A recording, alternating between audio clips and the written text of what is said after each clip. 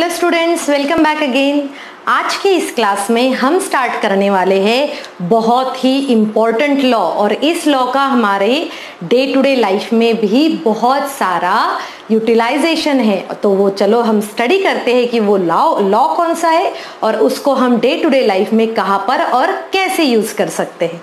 तो वो जो लॉ हम स्टडी करने वाले हैं, वो है हेनरीज लॉ हेनरीज लॉ देखो नेम तो बहुत ही ज़्यादा इंटरेस्टिंग है।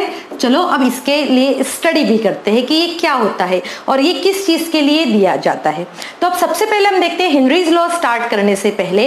आप सभी को पता है, आपने और ये ज़रूर ऑब्ज़र्व किया होगा कि जब भी हम कोल्ड ड्रिंक की बॉटल लेते हैं कोल्ड ड्रिंक की बॉटल जब तक चिल्ड रहती है, ठंडी रहती है तो उसमें ज़्यादा गैस रहती है। रहती है या नहीं? जो हमने गैस, कौन सी सी गैस होती है उसमें?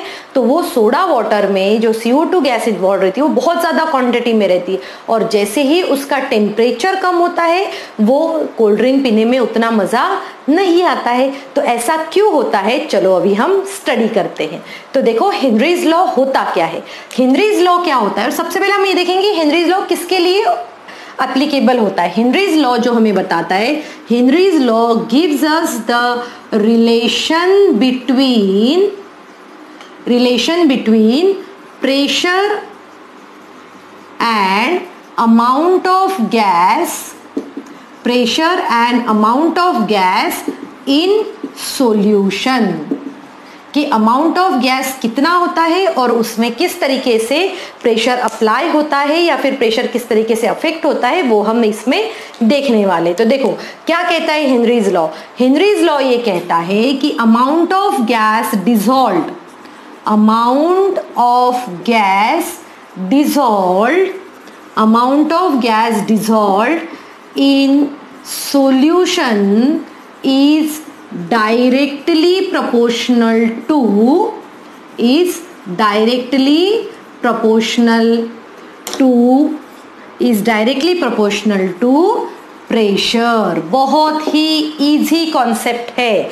वो क्या कह रहा है कि किसी भी गैस में, किसी भी सॉल्यूशन में कितना गैस इन्वॉल्व डिजॉल्व होना चाहिए, वो किसके ऊपर डिपेंड करता है? प्रेशर के ऊपर। इसने एक रिलेशन भी दिया, वो अमाउंट ऑफ़ गैस इसने एम के फैक्टर में दिया कि भाई अमाउंट ऑफ़ गैस ये क्या है? अमाउंट ऑफ़ गैस तो amount of gas is directly proportional to P ठीक है? या फिर हम कह सकते हैं कि pressure is directly proportional to और अमाउंट ऑफ़ गैस हम कैसे बताएँगे? अमाउंट ऑफ़ गैस हम बताएँगे in terms of mole fraction हम मोल फ्रैक्शन के टर्म्स में इसको हम बता सकते कोई एक तो यूनिट हमें लेना पड़ेगा तो हम ये यहाँ पर जो, हम एक जो वे मेथड होता है, एक टू एक्सप्रेस द कॉन्सेंट्रेशन उसमें से हम एक मेथड ले रहे हैं। और वो मेथड कौन सा है? मोल सो so, अभी हमने क्या कहा कि हम ये amount of gas mole fraction में ले सकते हैं। तो इसी को क्वेश्चन हम इसी को कैसे लिख सकते हैं?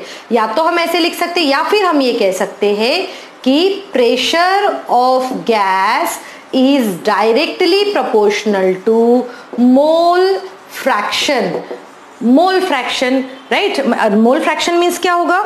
मोल फ्रैक्शन मीन्स होगा अमाउंट ऑफ़ द गैस और मोल फ्रैक्शन ऑफ़ गैस हम कह सकते हैं। इसी को जब आप सिंप्लीफाई करते हो तो अब हमें पता चलता है कि प्रेशर हमने पी से दिखाया और इज़ इक्वल टू यहाँ पर हम एक कांस्टेंट ले लेते हैं, जो कि क्या होता है? के एच और मोल फ्रैक्शन को हम किसमें दिखाएँगे? एक्स में।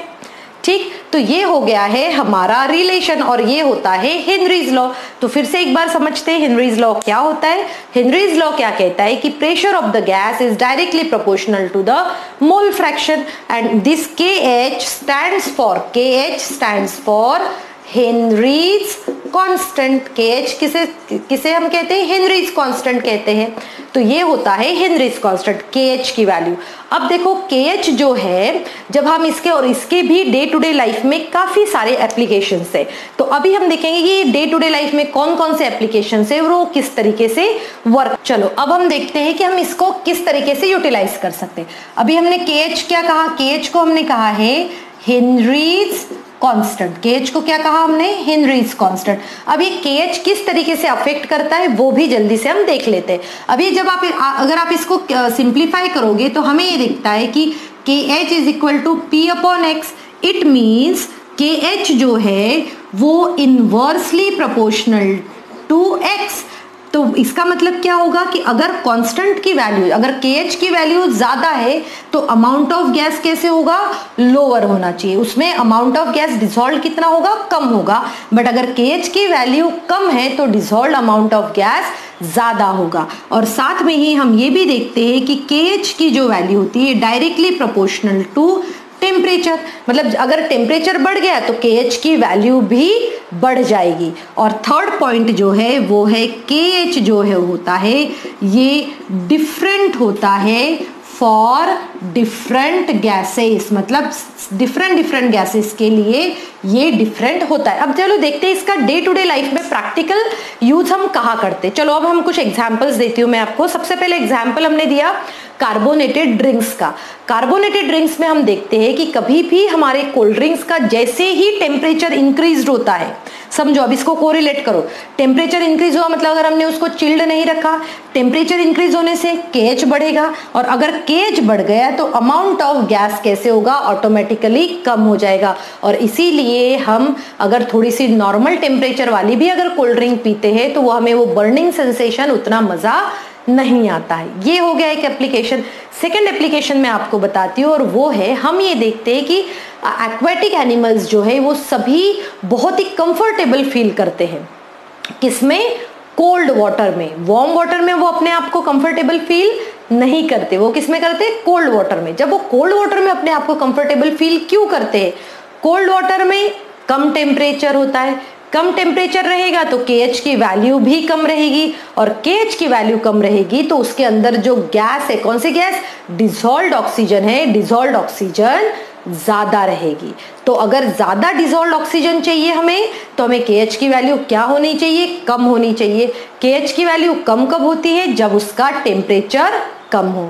और इसीलिए एक्वेटिक एनिमल्स जो है ये सभी कोल्ड uh, वाटर में ज़्यादा कंफर्टेबल कंफर्टेबली रहते हैं। और इसीलिए हम देखते हैं कि जब भी टेम्परेचर इंक्रीज होता है, और अगर ये एक्वेटिक एनिमल्स अगर पानी के सरफेस पे आ गए तो उनको क्या होता है? बहुत सारे एनिमल्स इवन डाई भी हो जाते हैं, और कुछ एनिमल्स को कंफर्टेबल बिल्कुल भी फील नहीं होता है।